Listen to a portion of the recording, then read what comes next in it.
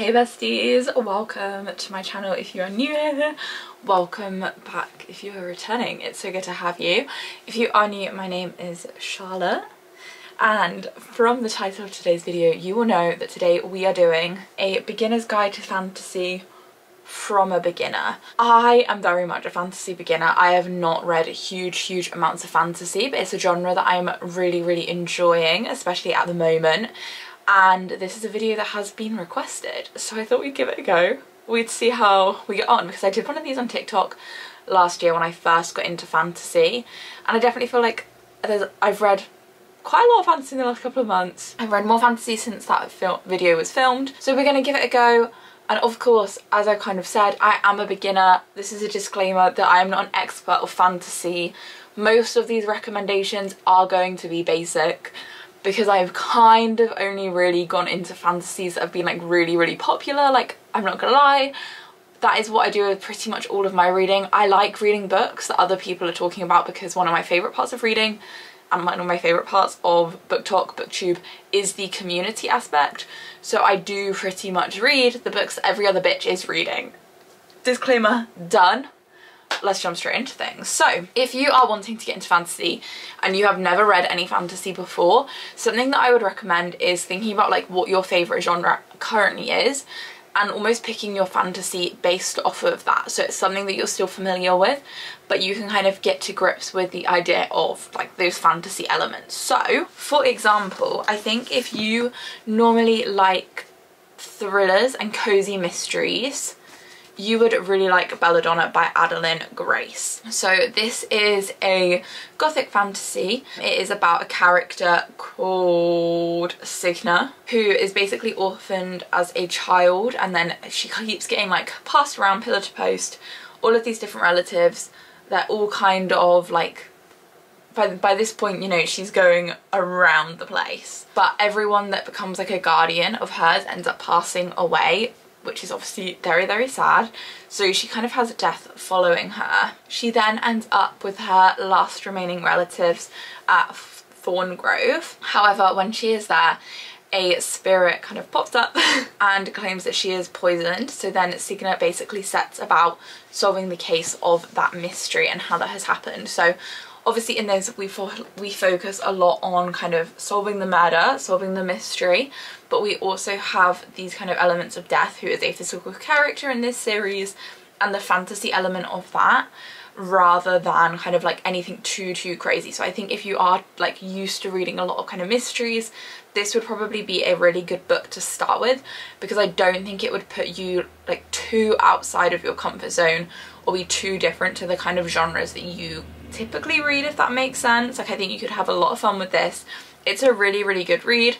It's quite quick and the whole series is just quite fun and definitely like a good way at dipping your toes in to magic and fantasy and the supernatural without like going as all in as something like ACOTAR if you don't know if it's going to be a genre that you would enjoy. Okay, so then for my romance girlies, obviously we know romantasy is a really big genre and I would definitely say there are some books that are like in that genre that are more romance heavy and some books that are more fantasy heavy and this is a big spectrum there's so many books that could fall into this but one book that I think is a really good fantasy for romance readers in particular is Powerless by Lauren Roberts. I'm sure so many people have heard of this book. It is quite literally everywhere. But if you do not know, if your algorithm is so far away from fantasy, let me tell you. So this is about Paedyn, who is an ordinary in a world where like you're basically not allowed to be ordinary. It is like illegal because everyone here has powers. So in this we see Paedyn basically end up meeting Kai, who is one of the princes and actually in charge of banishing ordinaries. However, he doesn't know that Miss Paedyn is ordinary when they meet. So their interaction, because she ends up saving Kai, basically it may, ends up getting Paedyn involved in the purging trials, which is giving Hunger Games 100% if you read Hunger Games when you were a kid, you would also really enjoy this book, I think. Maybe you started read, like you read a lot as a teen, didn't read for a long time, I think this is also a good book to get into. But anyway, this I think is a really good one for romance lovers because the banter that takes place in this is in my opinion, a lot more like a romance book than most other fantasies. Like just the conversations, it is very, very dialogue heavy, which I think makes transitioning from romances into fantasy a lot easier because it's almost written in like a romance adjacent way as opposed to written in a fantasy way where we have these like very long heavy descriptions and things like that so I think this would be quite like an easy book as a romance reader to give a go to get into the world of fantasy. And then lastly we have two books for academia and dark academia girlies. We have Babel by R.F. Kuang. As you can see, this book is so heavily tabbed. I really do quite love it but I think this is a really good kind of like dip your toe in to fantasy book and that is kind of how I describe it to people because of the way the magic system works in this. So this is a book, I'm just going to read the blurb because the blurb doesn't really tell you what it's about and I think maybe that's for the best. Oxford 1836, the city of dreaming spires. It is the centre of all knowledge and progress in the progress progress in the world and at its heart is Babel, Oxford University's prestigious Royal Institute of Translation, the tower from which all power of the empire flows. Orphaned in Canton and brought to England by a mysterious guardian, Robin Swift thought Babel a paradise until it became a prison, but can a student stand against an empire? So in this, the magic of silver. Is kind of like an extended metaphor for empire. So I think like if you are new to fantasy and new to like magic systems but you're very familiar with this kind of writing and this kind of story of like historical fiction academia I think you'd really enjoy it because it's not like you don't have like a goblin or a fairy like popping itself up. Like it's very almost realistic I guess you could say so it's not kind of too crazy so I think that would be a really good one if you do like academia. Along with that, we also have the Atlas 6. So this series is, I love it so much. It is about six magicians who have basically like entered into the Alexandrian society, but there's only five places and throughout the series we kind of follow them on their journeys throughout and we have some really cool magic but some of it is also like really physicsy and sciencey and some of their powers are more like magic-y whereas some of them like they they are called physicists so it is really really interesting. I love these books. Olivia Blake's writing is absolutely stunning. So I think if you like beautiful writing you like this whole kind of like dark academia vibe I think you would really really enjoy these books especially if you are a little bit worried about kind of similar with Babel, if you are worried about having like mythical creatures appearing, like obviously we have magicians in this, but it's a lot more like realistic feeling, I guess, than something like ACOTAR or Fourth Wing that you've literally got like fairies and dragons. So I think another really good place to start with fantasy is going into YA. It's a little bit kind of like easier to get your head around. There's sometimes less going on. The books are typically a little bit shorter so it's just like a nicer introduction I think sometimes. Um, two of my personal favourite YA fantasies. So we have Once Upon a Broken Heart by Stephanie Garber. This series is everything. This was like the second fantasy that I ever read and honestly I love it. It holds such a special place in my heart. This is about Evangeline Fox who has always believed in happily ever after until she learns the love of her life is about to marry someone else and all of her dreams are shattered. She's desperate to stop the wedding and to heal her wounded heart. So Evangeline strikes a deal with the charismatic but wicked Prince of Hearts. In exchange for his help she he basically asks for three kisses and they can be given at like a time or place of his choosing. But then Evangeline basically she learns tales of time. Bargaining with an immortal is not the best thing to do. It's very dangerous and there's always a twist in it. And that is all kind of what happens like in the first like 30 pages or something. And then we go on through that and the stories become amazing.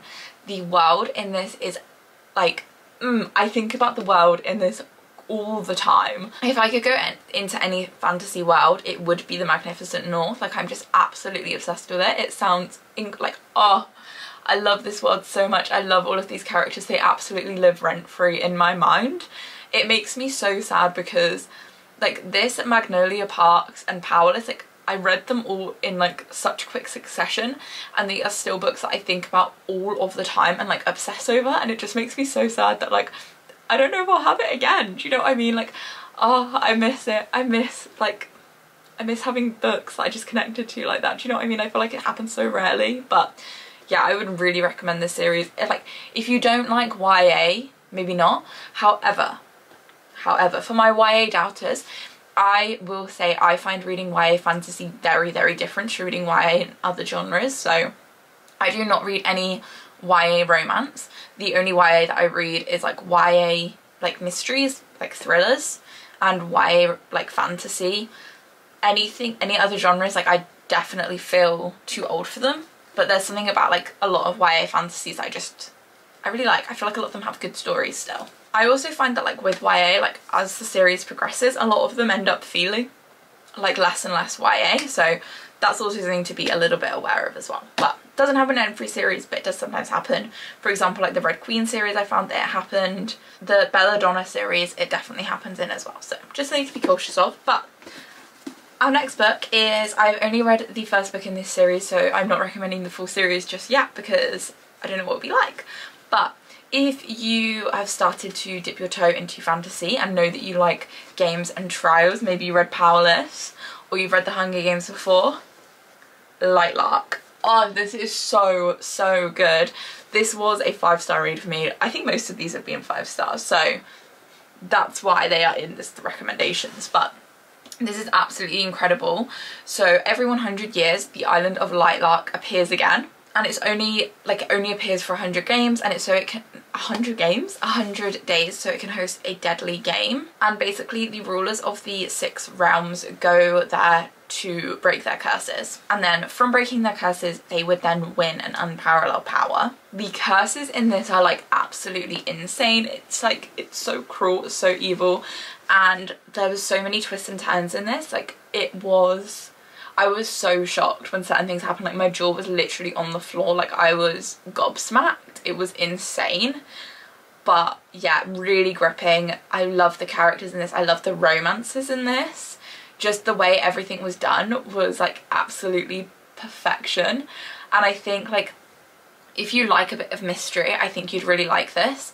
And if you like problem solving in books, so I, I'm a plot girly. I, when I'm reading fantasy, like I am reading for a plot, I'm not reading fantasy for the vibe. I'm reading romance and fiction for the vibe. I'm coming to fantasy typically seeking plot, seeking action, seeking things happening. And let me tell you, did she provide that for me? Loved her. Okay, last but not least, we have some of my adult fantasies. So the first one, it is basic, and I actually did not enjoy this series that much, but I think it's a really good series to read to get you to like learn about all things fantasy, as like there's a lot of things in this series that kind of like ex like goes into all series, like into a lot of fantasy things, if that makes sense. Um, I don't really know, either I have explained that so poorly, so poorly, but alas, we have ACOTAR. So, as I said, there's so much of this that kind of is... I don't know, I think this is a good way basically of teaching you the fantasy basics. We have war, we have romance, we have bad characters, we have like redemption arcs of characters. We have these twi like twists and turns. Like I think the series sums up, this is probably a hot take, the series I think sums up the genre quite well and that you also learn a lot of um, like you learn about things like wards and like magicy things that personally I hadn't come across until reading fantasy. So I do think this is kind of like a essential reading when you are early on in your fantasy journey. I think if you are picking up quite a lot of fantasy books especially adult fantasy maybe you don't need to read this but I also so much of the book spaces is about these books. Sometimes it's just nice to read them so you know what's going on. I know these are incredibly popular in general and especially at the moment everyone does seem to be reading these but I would say there is a reason. They're a good time.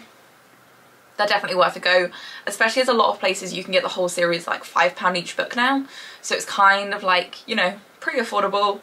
It's a it's an okay time. It's something considering I didn't enjoy them that much, like I don't think I gave any of them like a five star or anything, I do consider rereading this series very often. But I, I don't know why, but I like sometimes I'm like maybe my thoughts will change and because of that alone I think it is probably worth giving these a go which is why it's in this video. Another one that I think you learn a lot about kind of fantasy basics from especially with creatures like dragons is Fourth Wing. I often find myself craving a book like Fourth Wing. This is about Violet Sorrengail who has basically like trained her whole life to be a scribe and then she ends up becoming a rider so it's like a college where they you could be like a rider where you ride dragons a scribe like infantry or like just like army I think?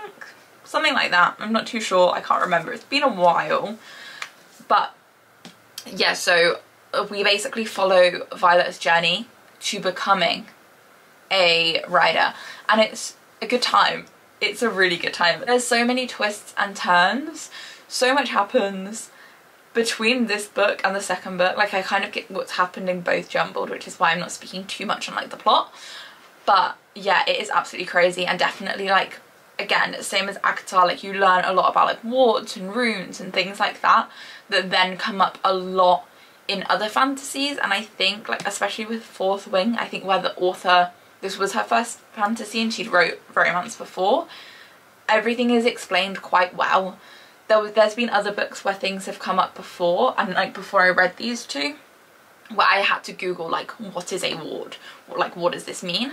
Whereas in this like I, I found those things to be like really thoroughly explained. So I think is it the best book in the world? No. Is it a really fun time? Yes. Does it actually I think teach quite a lot about like basic fantasy? Yes. Does that make it a good place to start? Yes. Especially again if you are coming from romance I think this is a really really good one especially as it does kind of follow those typical like romance arcs. And then we have a little bit of a different one. So we have Emily Wilde's Encyclopedia of Fairies. So this is very much like a book where you're reading it for the vibe it's giving cozy but it's not like there's not too too much plot but I think it's just a nice time. So it's about Emily Wilde who basically goes on an expedition to write the world's first encyclopedia of fairy lore and she ends up going into this like town and she is like uncovering a lot of the fairy secrets and we basically follow her journey. This is written as a diary so we're just reading her diary, we're seeing what she gets up to. Towards the end it does go more plot and book two is definitely more plot. But yeah it's very cozy vibes and one of the reasons I think this is quite good like I don't think this is should be your first fantasy but early on in your fantasy journey I think it's good as a way of learning about different kinds of fae and fairy because a lot of books which is something I didn't realise when I got into fantasy I, I thought people were like making up new things which maybe is silly maybe uh, other people think the same but yeah, I definitely thought that people were making up their own things. A lot of fantasy books rely on like the same like kinds of fae and fairy or the same kinds like of different dragons and wyvern, wyvern, I don't know how you say it. But think books like this I think can become really helpful for like learning that about that stuff. I, I would see this basically as wider reading. It's fun, it's cozy, it's a good time, it's not like super plot heavy. I think maybe if you're an academia girly, because these are seen as like light academia, then these might be a fun place to start. But yeah, it's a little bit different to the others, I would say. And then lastly, we have one of my favourite series. We have One Dark Window by Rachel Gillig. So this is a gothic fantasy and these are super, super atmospheric quite different to Belladonna in even though like they are both gothic fantasies. So this is quite a heavy magic system. So I wouldn't recommend going into this as your first fantasies. I think it could be a little bit confusing. I would read some of the others, especially some with magic systems and give that then kind of go into something like this. But in this series we follow Elspeth who basically has a nightmare in her head. So she is like another voice in her head basically and she has this as part of this illness that gives you magic which is Forbidden. It's very complex magic system, but the romance in especially book two is absolutely incredible. And I would say book two is like a, a really good, for me, example of everything I, like I want a fantasy to do. We have like battle, we have going on like an expedition, we have like there's so many elements that to me are hitting like classic fantasy things that I want to see, that I love seeing in a fantasy. So yeah, I think this is a really good series and a fun place to start quite a complex magic system. I have spoken about this in a few other videos, so if you are intrigued, I did read this in my 24 hour reading vlog, so I would definitely recommend giving that a watch if you want to know my wider thoughts, just because it is a little bit confusing and I don't want to make this video really long because I can already see I've been talking for like over half an hour, so. But that is my all of my fantasy recommendations. So yeah, these are the books that I would say if you're wanting to get into the genre from a beginner, beginner recommendations as a beginner, I would give these a go because I think you would probably be in fairly safe hands with giving the genre a go with these books. But that is everything from me. Thank you so, so much for watching this video. If you did enjoy, please give this video a thumbs up. If you're a more seasoned fantasy reader, please give me some recommendations.